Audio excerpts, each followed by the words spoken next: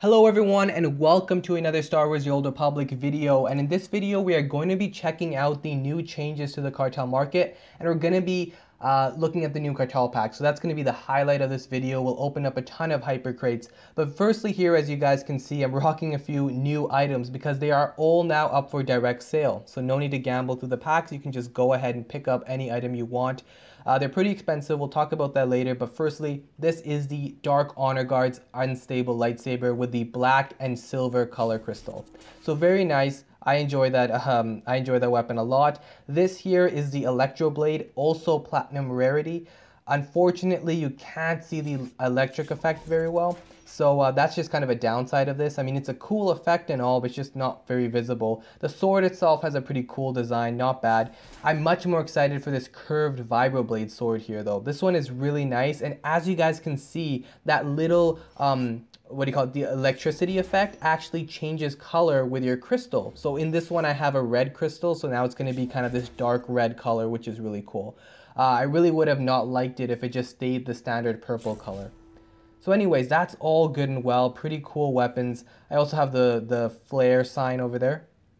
But we'll go ahead and check out the prices of some of these items if I can get this window to, to open over the other one. There we go. Okay. So let's go ahead and see what we got here. So everything is up for direct sale except for the cybernetic Varactyl. So for some reason that hasn't been put up. I don't even know if it drops out of the pack, but um, maybe we'll get out of this one, who knows. But here we go. We have the, um, here, check this out. The Dark Honor Guard's Electro Blade is actually 2,300 cartel coins. So even though it's a platinum item, it's pretty cheap. So whoever did the pricing here on some level recognized that it was not going to be as uh, desirable as the other platinum stuff, so they decided to, to make it a lot cheaper, which is cool and a smart decision.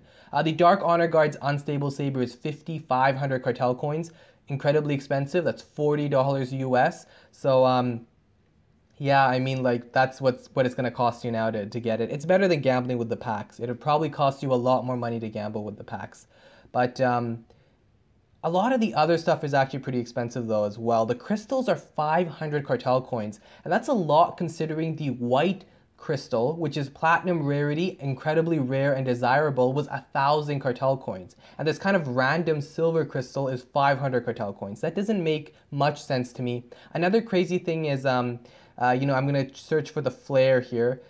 Okay, that only costs a thousand cartel coins. For some reason, I thought that was more expensive. The flare is pretty cheap as well. A thousand isn't bad. But um, I, if you guys missed it, the Force Apprentice armor set was actually 1100 cartel coins. It's as expensive as the gold weapons. I don't understand that reasoning. I mean, the Force Apprentice armor set should not be that expensive. And one of the downsides of the new changes, which I didn't mention in the last video, was that um, the silver stuff is now going to be a lot more expensive on the GTN.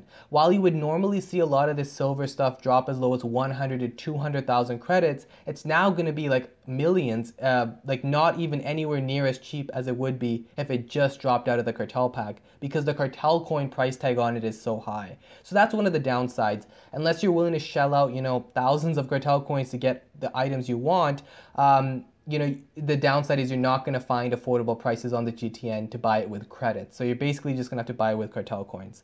So um, we've got that. Looking at the cartel pack, we talked about the changes earlier. It's basically three grand chance cubes, but a cool little descriptor here that I just noticed is that it says each pack um, increases the chances of getting a random platinum item.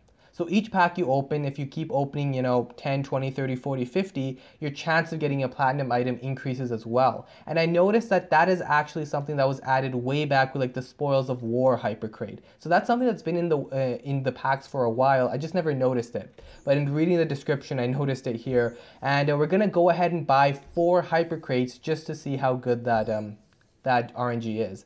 And we're to see how many platinum items we can get. And also if these packs are just kind of three grand chance cubes each. Because if they are, that's to be no good. Grand chance cubes, as we all know, have terrible drop rates. It just drops a ton of this bronze stuff over and over again. It wasn't uncommon for me to open 50 to 100 grand chance cubes and not even get one single gold item. That's how bad the RNG was. So I'm hoping that's not the case with these packs. Let's go ahead and open them. And it's, I guess it's not, because we got a gold item right in the first pack. We've got the Technolith Matrix tuning, and we've got the Elegant Loungewear armor set. Uh, don't be fooled by the bronze um, label on that. It actually sells for quite a few million on the GTN. So that's not a bad pack um, by any means. Let's go ahead and open the next one here. And we've got uh, two bronze decorations and uh, just a pet. Uh, we got another gold item, uh, the Scorpion TK lightsaber. It's not a good gold item. I mean, eh, it's just not. you know, you, you might get a gold item or you know a platinum item from these packs, but that doesn't necessarily mean it's it's a good drop. Bioware has been known to kind of mess with that, or at least that's my conspiracy theory. Just crap here. Um, let's go ahead and keep looking. Ooh, we got a platinum item. Fortitude. That I, just as I was saying that, uh, Fortitude. You know, it's got it's got the platinum price tag on it, but it doesn't sell for much on the GTN. I know that from personal experience. It gets put up for insane prices, but it doesn't actually sell. So um, it's platinum, but not the greatest thing. Rotworm practice jersey.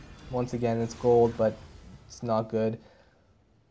Now, this is a decent drop. The Series 79 armor set. Uh, this is actually um, kind of one that you can't get out of cartel packs, and it sells for quite a few million on the GTN, so that's good. It's funny how some of these silver chops are better than the gold and platinum ones, but... For any of you wondering what Fortitude is, it's like Grit or Valor. It's like these weapons that are exclusive to some vendors from the Cartel Bazaar. And um, and since you can't get them out of cartel packs, for some reason they have a platinum rarity on it. And uh, I would much prefer if Bioware in these packs just gave us like the actual platinum items. So like, you know, Vented Saber, Unstable Peacemaker Saber, that good stuff. I mean, if you're lucky enough to get a platinum item, it should be at least be good. Here we've got Visas Marr's armor set. Ex excuse me if I'm kind of skipping over the other crap. Like, I don't want to keep talking about it. It's just going to be emotes or decoration, this or that. I want to focus on if we get a good thing. Uh, the, the, for example, this Groove emote, that's pretty decent. That's an emote that's going to sell for quite a lot. Hey, we got a double gold. Uh, both of them are decorations. Uh, not bad. Nice decorations. Crap, crap, crap, crap. I realize we actually have four hypercrates to open, so I'm going to try to go through these a little bit quicker. Once again, ignoring all the other stuff and focusing just on if we get a good drop.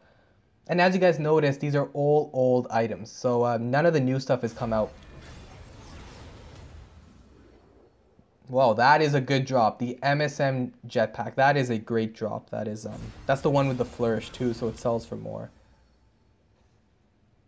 You know, I've got to admit, I've gotten a lot of gold so far. I've, I've lost count. Um, oh, that's a good drop as well. See, sometimes you get this silver stuff and um, it, it, actually sells for like millions. Like a lot, a lot of this old silver stuff that hasn't been introduced um, for a while is actually uh, goes up for high prices on the GTN and actually sells for those prices because there are a few people out there who want to collect them. So you can get lucky with these packs. Let's just say that. And as I was saying, the gold items, it's fun to get them from this pack because it could be anything. Is this, oh my gosh, three gold items in one pack. Wow, that's uh, that's pretty lucky. Um, yeah, but they're not the best gold items. I mean, we've got a, a deep pink dye module and a gold decoration. Another gold item, okay. Another gold decoration, okay. Yeah, I've totally lost count of how many golds that is. But that is a lot. These definitely have good RNG, not like Grand Chance Cubes, so... There we go, another stylish dancer armor set. That's going to sell for a lot. A fearsome rage toy, okay. And uh, another gold.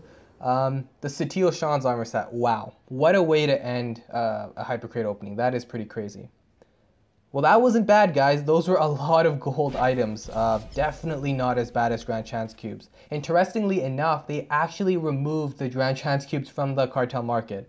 It, wouldn't make much sense to keep them, especially with these new packs it's a lot more profitable to open packs than, uh, than Grand Chance Cubes. There we go. The first pack again drops us a gold item. A lot of gold decorations though.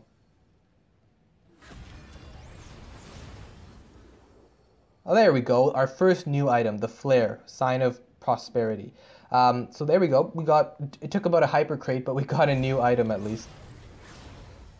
Ah, unfortunate I already bought the flare though, but whatever, we can sell it on the GTN. Darth Malak's armor set, that is not a shabby drop either. That That's pretty good.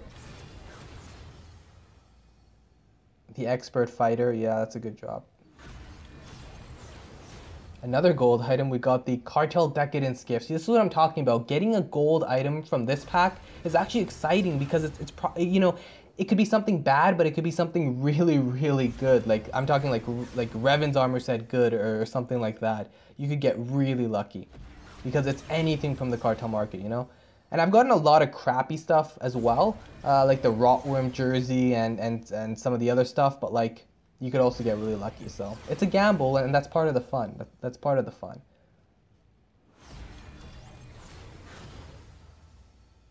The ventilated scalene. See, in some of the bronze and silver stuff you get is actually really old and, and is going to sell for a lot, or it's just really nice to collect. Uh, so for anyone who hasn't really spent a lot of time playing the game and hasn't collected a lot of the old stuff, it's not a bad opportunity to, um, to collect some stuff. It's going to be interesting to see what this actually sells for on the GTN. I'm assuming, I'm assuming people are going to put it up for high prices.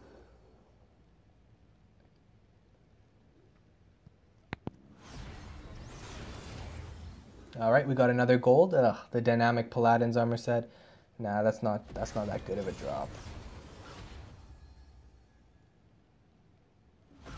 It does seem a little skewed. It seems like a lot of the golds we get, like this one, the green efficiency scanner, seems like a lot of the golds are, are, are the bad gold stuff, but sometimes you get lucky. I got the Satele Shan's armor set.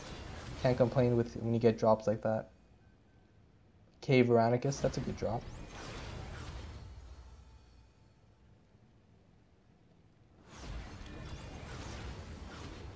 Ah, the Ridge Hunter Rancor. There we go. That is an awesome drop. Yep. And keep in mind, guys, it's 5,400 cartel coins for 30 packs. That is not a shabby deal. I mean, at least they brought the hyper crates back up to 30, and um, it, it costs less. Normally, a hyper crate costs 5,800 cartel coins for uh, 26 packs. So, how many packs? We got two more packs left. Ah, the Vengeance Unsealed. Yep, nice stuff to collect for anyone who doesn't have it. Alright, not bad. Not as many golds in the second Hyper Crate, but still a ton of gold items. And we got some nice gold stuff too, especially that Rancor. That was a good drop. Alright, two more Hyper Crates. Let's keep going. Let's see if, uh, if the luck holds up, if, um, if the RNG really has improved that much. If it has, these aren't bad packs to open. I mean, they're still very costly, but they're not terrible packs to open at all. They're still a lot of fun to open. You can still get some really good stuff. It's still profitable if you want to sell it on the GTN. I'm not displeased. Let's put let's put it that way. This is a good drop as well. The Primeval Stalker. Uh, the upper body armor for that one sells for a ton.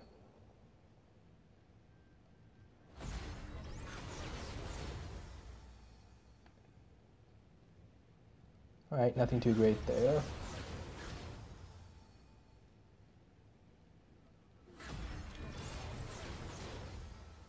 Yeah, so as I was saying, I'd be exci- I'd be excited to see what these sell for on the GTN. I mean, if you can get a hyper crate for like 30 to 40 million, if you have those many credits to spend, um, it's not not a bad deal. You could probably flip it for a profit if you got um, decently lucky with the pack opening. Uh, another gold, come on. Ugh, the personal warbot. Thana Vesh, that is a popular armor set as well. The funny thing is, I'm getting all this good stuff, but the GTN is going to take a hit. Oh, the Tactical Infantry, that's a really good bronze one, yeah. Uh, the GTN is going to take a hit, guys, because like so many direct sales are coming in the near future.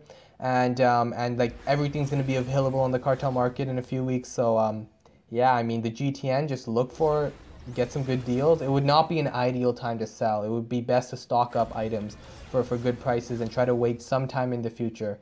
Hopefully you can find a, a kind of a good period of time to start selling your items again. But um, but selling it in the next few weeks is not going to be the best thing because it's all going to be up for direct sale and I'm assuming prices are going to take a plummet. A lot of people are going to be excited to to try to get something good. Okay, we got another platinum, but it's a stupid Vectron Zephyr. Ugh, these aren't actual platinum items, guys. These are like old items that Bioware changed from a different rarity to platinum. So I don't really treat them as platinum items. I, I wish Bioware just like kept the other platinum items in there because um, like the stuff people actually want, like the Kylo Ren saber and the unstable arbiter saber and that stuff. Why why include all the other stuff? I mean, if you're lucky enough to get a platinum, it should be a good platinum. That's my logic. Double gold, and we got uh, Ugh, neither of these are too good. Concealed bodysuit is okay, I guess, but the Calo Nord, that's like worth a million or two million credits at most.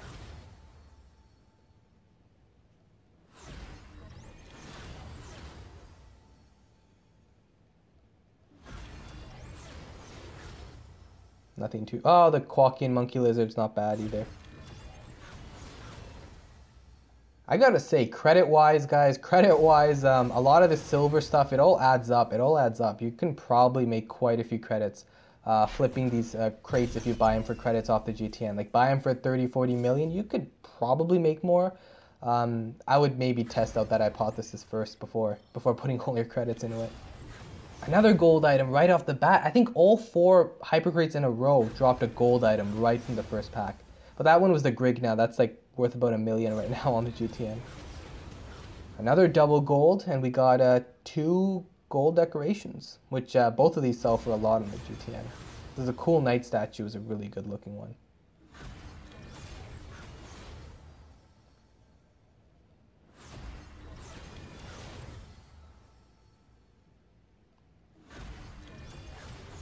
All right, we got a gold. The Republic ATV. Which does that come out of? The Spoils of War pack? Okay. Probably not worth too much. It's a pretty recent pack. The Derelict lightsaber. That's a good one.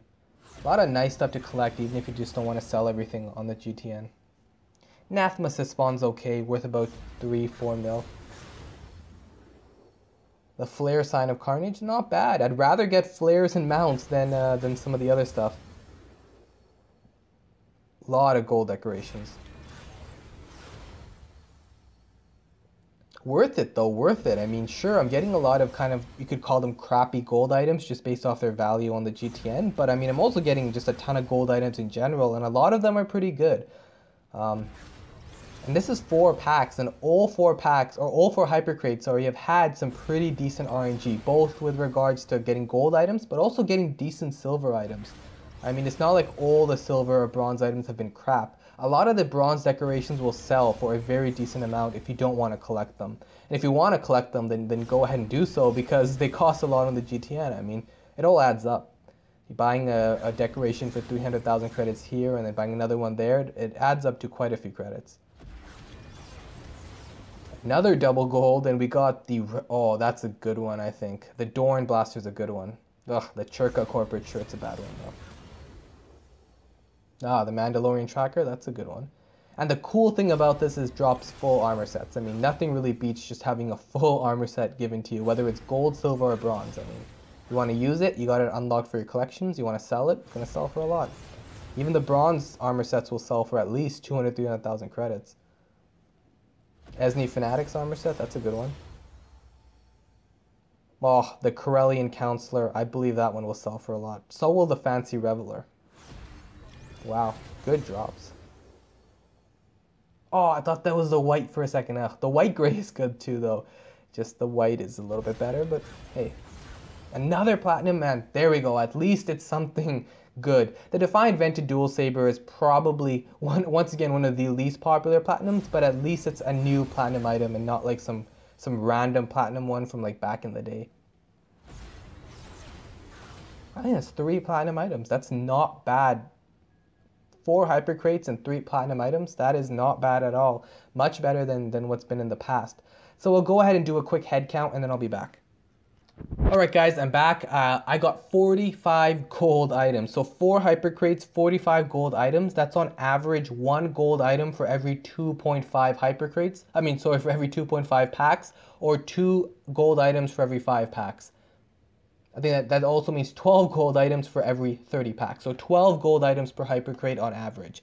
That is not bad. Sure, a lot of the gold items weren't too great, but a number of them were. And your chance of getting kind of one of the really old gold items worth millions of credits is pretty high because, you know, you never know. You can get some of the good stuff. I got Satele Shan's armor set, the Rancor, the Primeval Stalker. Those are all really good uh, gold armor sets. So I guess my consensus on the new packs is they're grand chance cubes on steroids. They're, they have better RNG. Each pack gives you like three grand chance cubes. Um, and you also have a chance at getting some really decent silver and bronze items, whether you're using them for your own collection or whether you're going to sell them on the GTN. So with regards to value, it's not bad. I don't think packs by any means have been ruined. They're still very fun to open and you can still get a ton of really cool items. Uh, just remember that um, don't be buying packs for a specific item. It's very random. You never know what you're going to get. You could uh, open a pack and get like, I don't know, a whole ton of really shitty gold stuff, or you could get some really amazing gold stuff. It's all incredibly random and, and it's meant to be, I guess, have fun with it. I went in with no expectations and I came out pretty pleased, especially with regards to how many good items I got. And it's all very high value. So not too bad at all. Not too bad at all. If you do decide to do a pack opening, I hope you guys enjoy. But if not, just enjoy the new direct sales because now you don't have to gamble anymore. You just got some really good stuff. Hope you guys enjoyed the video and I'll see you guys in the next one.